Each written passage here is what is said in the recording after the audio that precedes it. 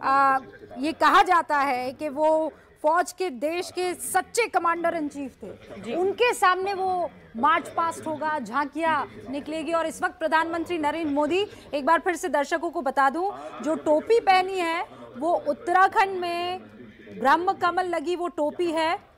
ये राज्य फूल की का दर्जा प्राप्त है ब्रह्म कमल जो उत्तराखंड में। उगता है और इसकी बड़ी मान्यता है। पूजा में इसका बड़ा इस्तेमाल होता है। और जो स्टोल इस वक्त प्रधानमंत्री ने पहना है ये मणिपुर का खास उसका चिन्ह और पहचान है। और ये भी देखिए कि मास्क लगाए हुए हैं प्रधानमंत्री नरेंद्र मोदी। देश को एक बड़ा संदेश यहाँ से देने की कोशिश की। कोरोना का खतरा अभी टला नहीं है इसलिए मास्क ज़रूर लगाइए। और परेड में इस बार बहुत कुछ खास होने वाला है, वो भी हम आपको दिखाएँगे। हम बता दें कि अब तक का सबसे भव्य हवाई प्रदर्शन इस बार परेड में होगा। प्रधानमंत्री नरेंद्र मोदी वॉर मेमोरियल से अब रवाना हो चुके हैं और बस, अब देखिए आप ये देखिए, डिजिटल बुक में वो अपने कमेंट्स को दर्ज करेंगे और उसके बाद यहाँ से वो प्रस्थान करेंगे राजपथ के लिए। और इस बार पहली बार ये राष्ट्रीय समर स्मारक की डिजिटल आगंतुक पुस्तिका है, जिसमें कि प्रधानमंत्री नरेंद्र मोदी डिजिटल पेन से अपने कमेंट्स लिखते हुए। ये आप देखिए। ये डिजिटल विजिटर बुक है, जिसमें प्रधानमंत्री नरेंद्र मोदी अपना रिमार्क इस वक्त लिख रहे हैं। ये पल उनके लिए खास इसलिए भी है, क्योंकि सेंट्रल विस्ता के तहत नए राजपथ पर बहुत शानदार भव्य तस्वीरें हिंदुस्तान को दिखने वाली है। और एक बार फिर से सबको नमन करते हुए प्रधानमंत्री नरेंद्र मोदी।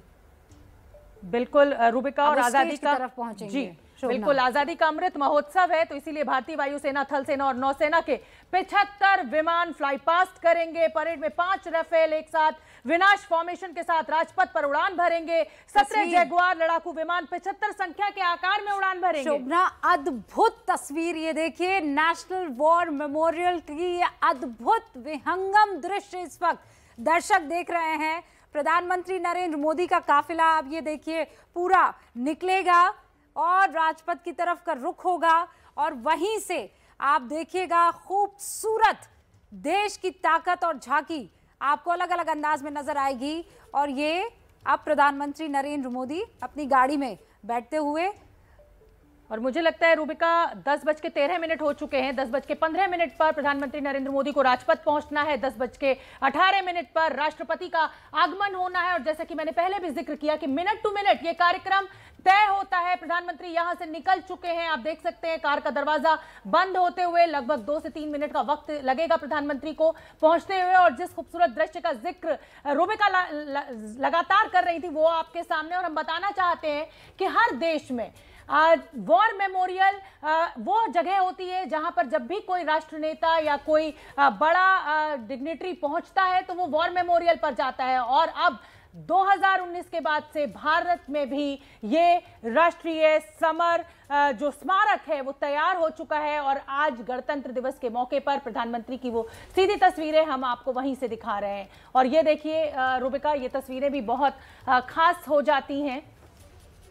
श्रद्धांजलि देने का सिलसिला लगातार जारी, वीरगति को प्राप्त जो सैनिक हुए हैं इस पूरे साल में।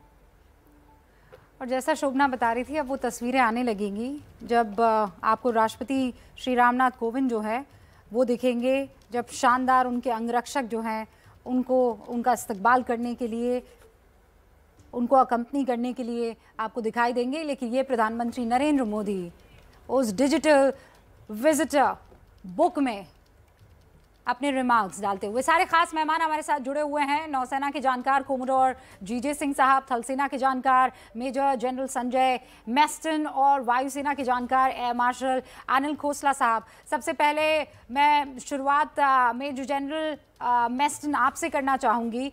ये इस बार की जो तस्वीरें हैं और इस बार की जो भव्यता है, वो कैसे बाकी सालों से अलहदा और अलग इस वक्त आपको नज़र आ रही है? जनरल मैसन देखिए इस टाइम रूबिका का हाँ जी काफ़ी चीज़ें इस टाइम फ़र्क है। पहली बात तो आपको पता है कि बता रहे इस टाइम जो फ्लाई पास्ट है वो 75 एयरक्राफ्ट से करेंगे और बल्कि जो एयरफोर्स से मेरे को बताया गया था कि तकरीबन 100 जहाज़ होंगे जो पार्टिसिपेट करेंगे।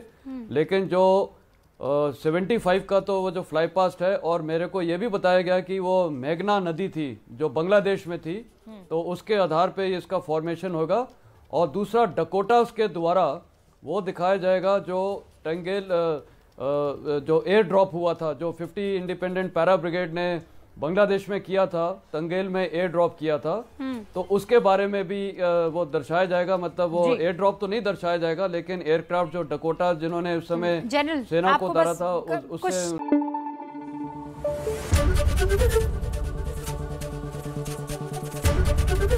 ABP news. आपको रखे आगे।